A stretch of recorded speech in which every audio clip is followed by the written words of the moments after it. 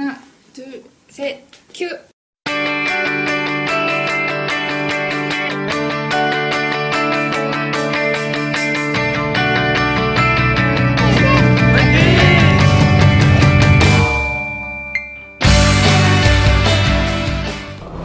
안녕하세요. 지난주 와보숑 라디오 개국 방송 행사를 통해 성북 마을 뉴스 앵커 참여를 하게 된 김태영입니다. 앞으로 와보숑 라디오로 만나 뵙겠습니다. 어느덧 나뭇잎들도 수줍게 색을 변화시키는 9월의 첫째 날, 성북구에도 소소한 변화가 있었는데요. 장애인들을 위한 배움터 너른마당이 새로운 공간으로 이사를 했고, 같은 건물 4층에는 성북마을 극장이 새로이 문을 열었습니다. 또한 향기를 나누는 사람들의 모임, 줄여서 향나모의 바자의 소식도 와보숑이 다녀왔습니다. 사랑이 넘치는 새 현장을 소개합니다. 9월 1일 오후 6시 성북구 동서문로 24길 10 세창 빌딩 3층에서 너른마당의 이사기념 행사가 있었습니다. 서울시 의원을 비롯 많은 분들이 바쁘신 와중에도 참석해 주셨습니다. 같이 더 많은 일, 더 좋은 일, 소외받는 이웃을 위해서 더 열심히 노력하는 시민단체가 되기 바랍니다. 너른마당 화이팅! 우리 장애인들이 함께 배우고 또 함께 나누는 그런 시간들, 좋은 시간들 이렇게 많이 어, 생기는 그런 어, 곳이 되었으면 좋겠습니다. 다시 한번 축하드립니다. 어, 지역 장애인을 위해서 어, 새로운 또 활동가 그리고 앞으로 지켜 나가고자 하는 그런 목표들을 이루시길 바랍니다. 그 과정에서 많은 분들이 도와주실 거를 믿고 저희 센터 역시 같이 하겠습니다. 지역을 같이 만들어 나갔으면 좋겠습니다. 축하합니다. 감사합니다.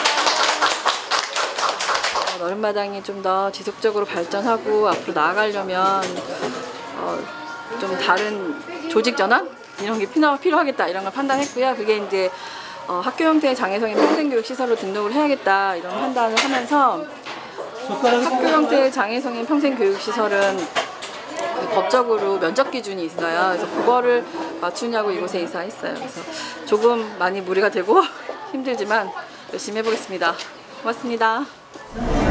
장애인들과 함께 만든 음식들로 손님들을 맞이하고 다 같이 즐겁게 축하해주고 격려해주는 모습들이 매우 보기 좋았는데요.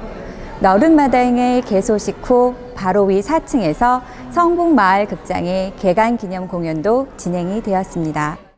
9월 1일 오후 7시 30분 많은 분들과 함께 공연이 한창 진행 중인데요. 같이 감상하실까요?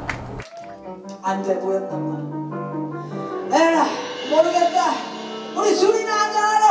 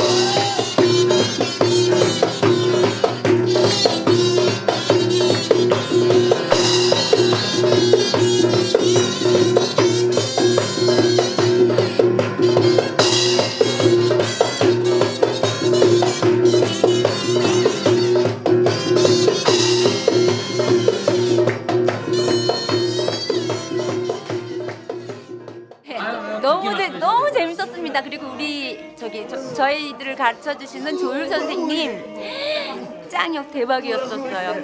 그리고 대박 날 거예요 앨범도.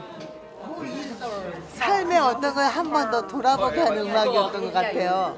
되게 감동적이었습니다. 저희가 이렇게 공연할 수 있는 이런 극장이 생겨서 생겼다는 게 되게 좋고요. 어, 그리고 같이 마- 마을 공동체 이렇게 많은 비장애인 분들과 함께 이렇게 어, 함께 작업할 수 있는 공간이라서 좋은 것 같고요. 네, 이런 게 되게 필요한 것 같아요. 되게 기분 좋아요. 뭐 연극 공연을 올리고 싶지만 뭐 어떤 기회가 없거나 뭐 재정이 어- 어려워서 연극을 못 올리는 젊은 예술인들을 위해서도 어, 극장을 개방하려고 하고 있고요. 그리고 지역 관련해서는 협업 프로그램을 같이 만들어서 어, 지역 주민과 함께 어우러질 수 있는 공간으로 이 극장을 계속 뭐 이렇게 운영하려고 생각을 하고 있습니다. 앞으로도 성북 주민을 위한 다채로운 공연들이 계속되기를 바라면서 이렇게 많은 주민들이 참여한 또 하나의 행사가 있습니다. 바로 향남호의 후원 바자회인데요. 에너지 기금을 마련하기 위한 바자회답게 에너지 넘치는 현장 지금 만나보시죠. 9월 12일 3시부터 7시까지 정릉 베델교회에서 8090 콘서트를 비롯한 후원 바자회가 열렸습니다. 소외계층 가정의 에너지 효율 개선 사업 기금 마련을 위한 이번 행사는 주민들의 적극적인 참여로 이루어졌는데요. 그냥 바자회가 아닌 에너지 기금 마련을 위한다는 점에서 흥미롭습니다. 이 정릉에서 사시는 독거노인 분들이 있죠. 그분들한테 봉사활동을 하는 겁니다. 우리는 겨울에 뭐 난방이라든가 뭐, 뭐 창틀 같은 거, 은풍지 이런 것도 발라주고 도배도 해주고 이런, 이런 행사를 하는 겁니다. 지역의 이제 어르신들의 난방 문제라든가 이런 문제를 좀 더 우리가 원활하게 해결할 수 있는 방법이 있을까라고 생각을 하고 일을 했었었는데요. 어, 하다 보니까 굉장히 좀 뭐랄까 열악한 환경들을 보고 저희가 좀 더 도울 수 있는 방법이 없을까 뭐 그런 취지에서 저희가 공연을 사실 기획하게 됐고요. 공연자들을 섭외하는 과정, 바자의 물품들을 후원받는 과정들 모든 부분들을 저희 봉사자분들이 주도적으로 움직였고요.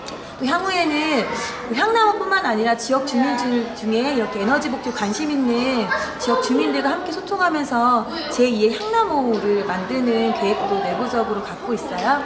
그래서 어, 향나무가 향기를 나는 사람들인 것처럼 지역사회에서 정말 에너지 있는 향기들을 만드는 그런 모임으로 확대되지 않을까 하는 기대를 갖고 있습니다.